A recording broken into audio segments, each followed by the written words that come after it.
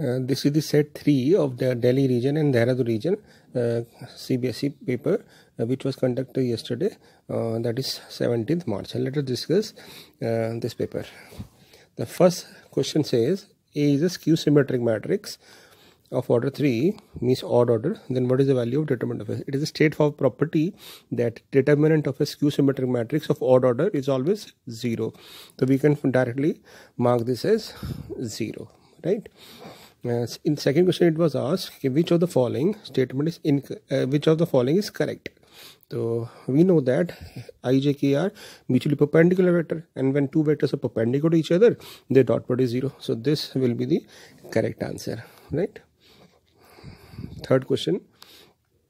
it says you find the probability of getting a spade if it is given that it is a queen तो means queen तो select हो चुकी है means total cases जो होंगे,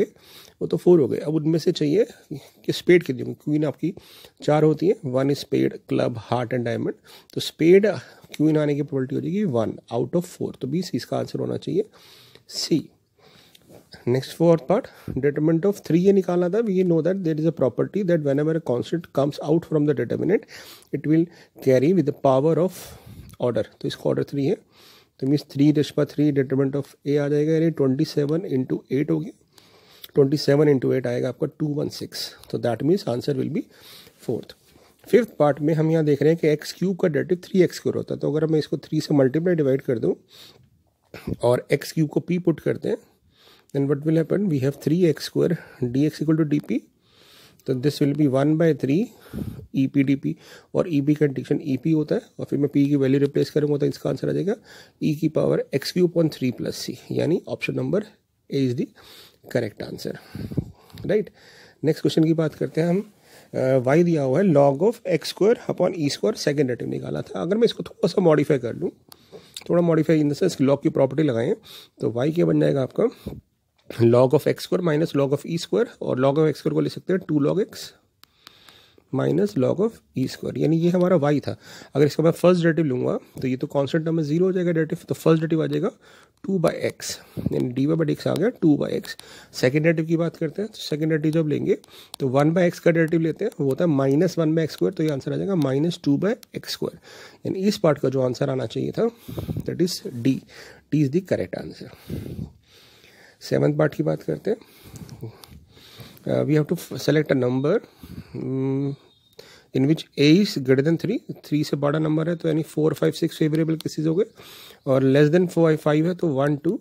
three four cases हो गए। और ए यूनिट भी पूछा तो यूनिट में हम अगर हम इसको सबका कंबाइन कर देंगे तो one two three four five one two three four five six six number आएँगे तो कोई भी नंबर आ सकता है बेसिकली तो प्रोबेबिलिटी हो जाएगी सिक्स बाई सिक्स यानी वन तो इस पार्ट का आंसर आना चाहिए था डी ई e पार्ट की बात करते हैं। एक रोम्बस दिया हुआ है जिसका डायग्राम इंटरसेट कर रहे हैं ई e पॉइंट पे।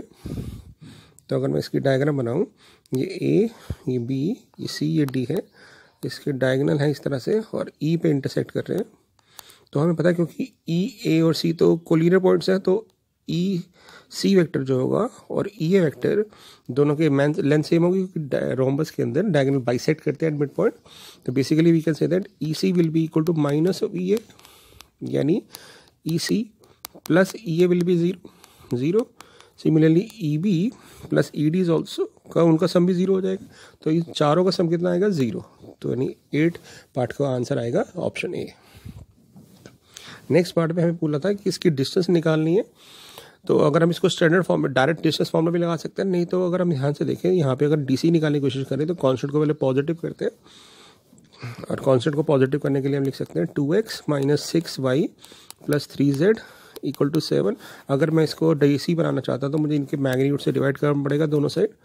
तो फोर थर्टी सिक्स नाइन यानी फोर्टी नाइन यानी सेवन से डिवाइड कर फोर्टी नाइन से डिवाइड करेंगे रूट में तो सेवन बाई सेवन वन आ गया. ये बन जाएगी आपके पास r dot n cap equal to d तो जो राइट साइड में कॉन्सेंट होता है वो डिस्टेंस होती है तो इसकी डिस्टेंस आ जाएगी वन अब डायरेक्ट फॉर्मूला भी लगा सकते थे। नेक्स्ट क्वेश्चन की बात करते हैं टेंथ यहाँ गिवन है कि two x plus three by more than six है, यानी जब इसका ग्राफ बनाएँगे तो पहली बार डॉटेड लाइन बनेगी। और ये रीजन को जब करेंगे बात तो ओरिजिन इसको सेटिस्फाई नहीं कर रहा मीन फॉल्स है तो ये इसकी शेडिंग ही आ जाएगी। तो हमसे पूछा गया कि ये शेडिंग किसने कवर करेगी? तो इसमें हम क्लियरली अगर हम ध्यान से ऑप्शन बी पढ़े तो क्या कह रहा है? ये half plane that neither contain the origin origin को कंटेन नहीं कर रहा right and not the point on the line और लाइन को भी कंटेन नहीं कर रहा तो यानी B option is the correct answer next question की बात करते हैं।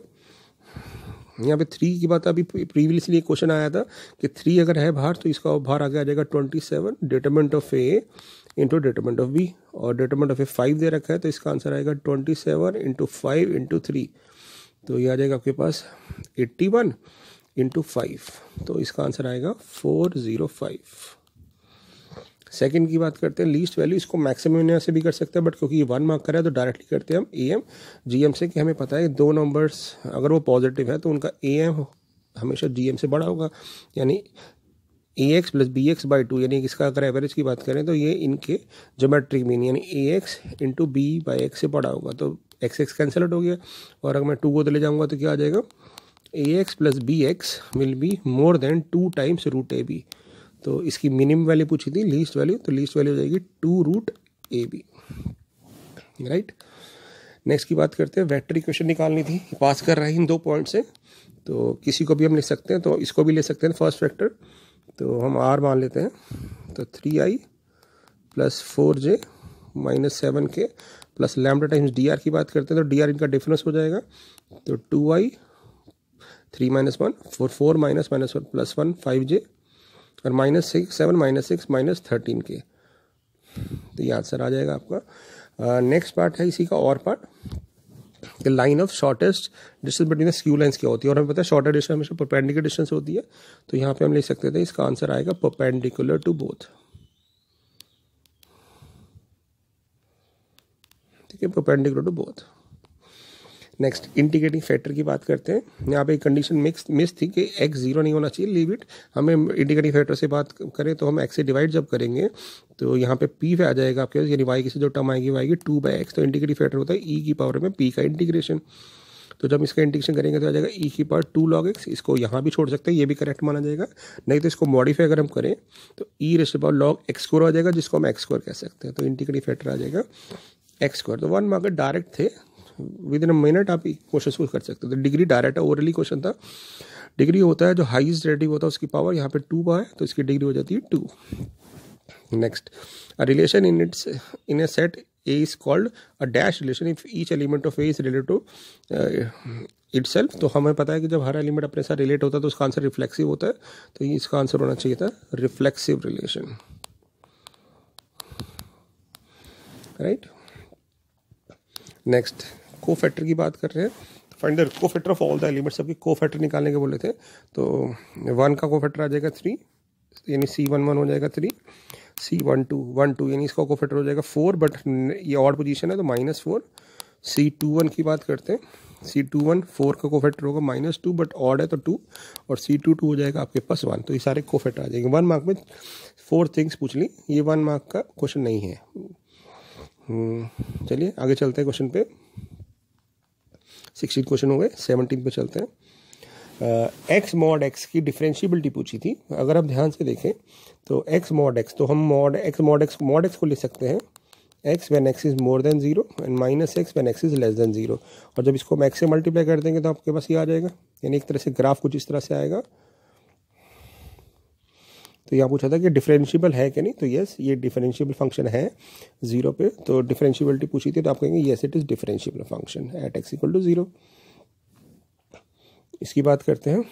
अगर मैं माइनस बाहर ले जाऊँ तो sine inverse of sine seventeen pi by eight हो जाएगा। Minus sine inverse of sine और सेवनटीन को लिख सकते हैं two pi plus pi by eight sine two pi plus theta sine theta आता है साइन से साइन इनवर्स कट जाएगा तो माइनस पाई बाई एट आपका आंसर आ जाएगा। Minus pi by eight nineteen में बात करते हैं